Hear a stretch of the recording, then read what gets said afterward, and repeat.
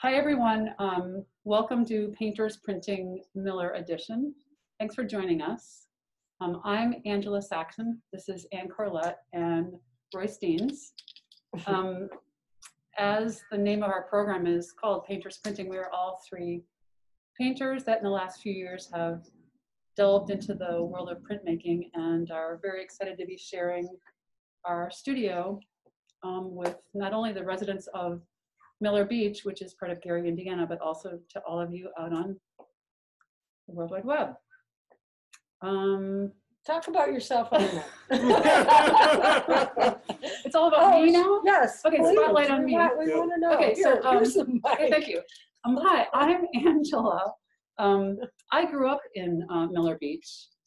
Um, if you don't know it, it's a beautiful little community right on the shores of Lake Michigan. Um, I've been uh, a painter for all of my life. Um, I'm primarily a landscape painter. And in the last few years, got together with these two Leos. I'm a Leo too. These three Leos. And we've um, been making monotypes, um, exploring ways of making marks. And um, for me, that's really impacted how I work as a painter. Okay, your turn. Really? It was Yes. that No, it was great. It's just like, you know. bad? okay, It's the ready to talking go. braille. No? Okay, I'm Yeah. Royce Deans. I grew up in the Chicago area and currently live in Traverse City, Michigan. Oh, me too. You live there too. Yeah. Right. I Okay. don't. Uh, but I paint mostly landscapes and um, figurative work, and I just found it fascinating to try and mix those two up and see what I can learn from one and from the other that way. But mono printing has been really exciting place for me to experiment You're gonna take and to find some new ways of working. You just Oh, barely my made it under the last. No, I'm Anne Corlett, grew up in the Chicago area. I live in Saugatuck, so west coast of Michigan. And I'm also a landscape painter, and this really isn't a microphone. um, but uh, we we actually we've known each other a very long time, all of us, and um, Angela and I from back when we lived in Pilsen in Chicago. Oh well, we've been in shows together and working together uh, at least ten years, if not more. And so a couple of years ago, we started um, printmaking together, and. Uh, COVID has kind of slowed us down. We did some Zoom printmaking We sessions. did, did. And then we had planned on doing this, and then you two really figured out how to make it COVID compliant. All I do is show up. Which is why, the which is, which is why this is a component of it now. I mean, we intended this to be a very interactive residency. Um, so we're basically here in the Miller Beach Arts and Creative District, 5,000 square foot gallery. It's just us in this giant gallery. Um, Making a mess. Making a mess for 10 days. Actually- In 2018, the three of us had an event here. It was called Reconnect. Um, it was, we filled this 5,000 square foot gallery with all of our landscape paintings. And it, the theme was Reconnect because we're all from this regional area and Right. you know, reestablishing our roots, I guess. Yeah. And That's- connection to nature, I would say. the lake. So as we kind of mentioned at the beginning of this, that we had intended this as, you know, this very interactive program. And we really had to rethink um, for the COVID pandemic how to make this work. And the Miller Beach Arts and Creative District has been phenomenal working with us. Um, there's a GoFundMe site that has just been tremendously successful. We really want to thank the Miller Beach Arts and Creative District um, for helping us make all that work. Um, our class program sponsor is Glitter Paste Studios, which is right here in um, Miller. And there's a many individuals that have um, given money to help this program be a reality. So thank you. And if you'd like to know more about that, you can go to our website, paintersprinting.com. Okay, so now let's make a monotype. Let's make a monotype. Okay. What is a monotype? It is a print made by applying ink or paint to a smooth surface that we call a plate. That image that we put on the plate is transferred onto a piece of paper via pressure. We can run it through a printing press or we can do it by hand with something as simple as a wooden spoon. Now Anne is going to show us how it's done. Anne? My new microphone is the palette knife. Right. Okay, here's a plate. This one is plexiglass. Often we'll put a drawing underneath, but we're not gonna do that today. Here are the inks. The inks are Akua, water-based. They're easy to clean. I've already mixed colors. So let's see how this works. So we use a brayer. We have all different um, sizes of brayers. And then we can run it across the plate. Now let's get a different color for kicks and giggles. I got all my um, landscape colors, you know, because that's what we're doing here in Miller Beach. There are other ways to apply the paint besides brayers. Let's do one more color first. We'll get this nice blue. What a beautiful array of colors you have there. Thank you. We do love the colors of this landscape. Like those Yeah. three you pulled out, you've got sand and the two colors of the water. Exactly right. It's beautiful. Now you can layer one over the other like that. You can also manipulate with the brayer. Now that all that ink is on there, let's see how we can play and have fun with it. We can use tarlatan. Which is like a really stiff cheesecloth, right? Like something that Right, right. And you can take familiar, a, but also not like a kind of oh, gentle- scratches.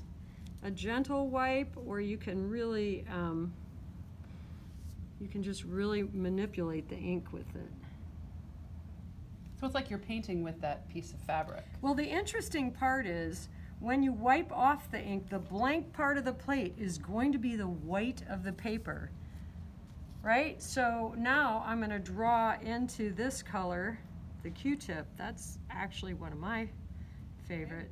Or you can use a makeup brush since we wear so much makeup. It's got a little more control. A toothpick will give you really good control. Okay, even something like a scrubby, like a, you know, dish scrubby, that's got some really interesting marks. And then see how the paint goes um, into sort of- the you're- other right, color. You're blending colors with that. Also, we can use a brush.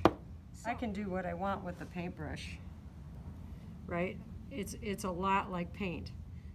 The interesting thing about a print is it's gonna be in reverse. Okay, kids, what have I forgotten to show them?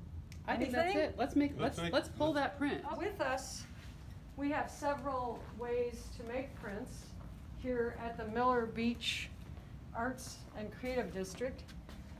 Okay, this is a, it's actually called a baby press.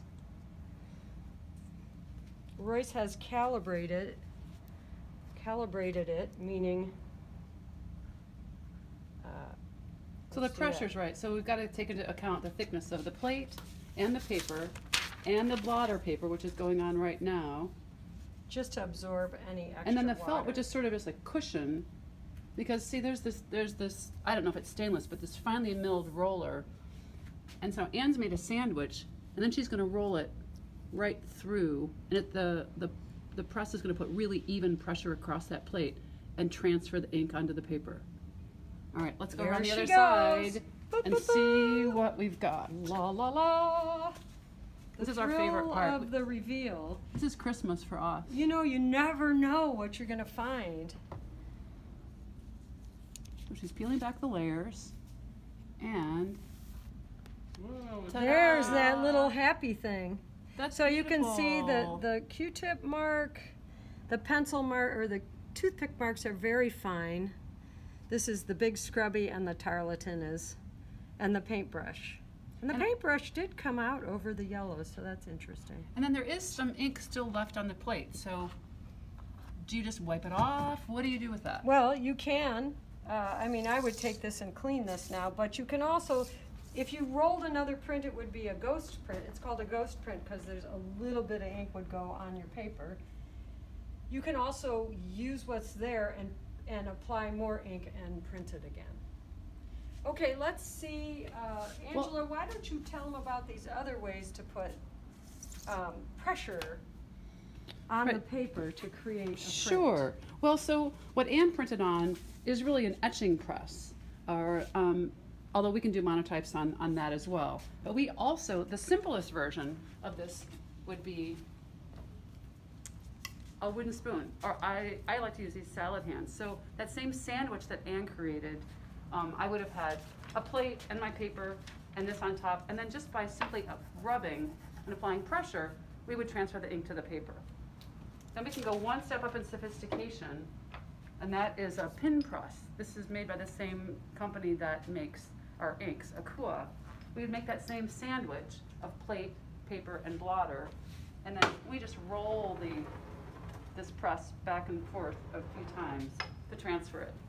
So really, with monotypes, the possibilities are endless. Endless. Alrighty then. This, this residency for us is about experimentation. And we really wanted to have the time to just try things with, with printmaking, especially with monotype printmaking. Really, the sky's the limit. I mean, you could use almost anything for a plate. So I used a big glass top table. And instead of using a small piece of plexiglass, I just inked the table and then used paper off of a roll. And I think this paper is 22 by 48, which you know, typically that maybe would be hard to do on a, on a regular press with a bed, but because I can just ink the table and then we have a small, let me show you We this. didn't show them the print press. This, can we rotate here? Yeah. So we have this lovely press that's um, called a pin press.